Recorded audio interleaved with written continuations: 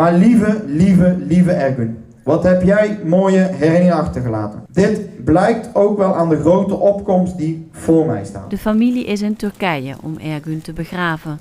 Via Facebook kunnen ze de bijeenkomst volgen.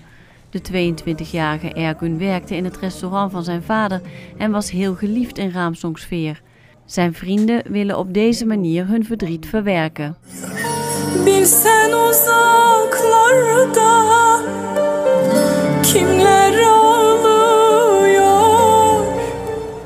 Precies een week geleden reed Ergun hier s'nachts over de Oosterhoutse weg. Hij verloor de macht over het stuur en kwam met zijn auto in een sloot terecht. Hij overleed ter plekke. Ergun reed te hard, dat weten ook zijn vrienden. Maar op de Oosterhoutse weg waren het afgelopen jaar 15 ongelukken, waarvan twee met dodelijke afloop. Onkruid, die, eh, die staat hoger als het stoeprand zelf. Uh, geen zichtbare reflectoren. Kijk, wij weten dat hier allemaal die band ligt. Maar als u uit Breda of uh, whatever vandaan komt en u rijdt hier langs deze weg, u rijdt met 80, want u mag hier 80 op de weg dan kunt u schatten wat er gebeurt. En dan krijgt u dit situatie wat er met Ergun is gebeurd.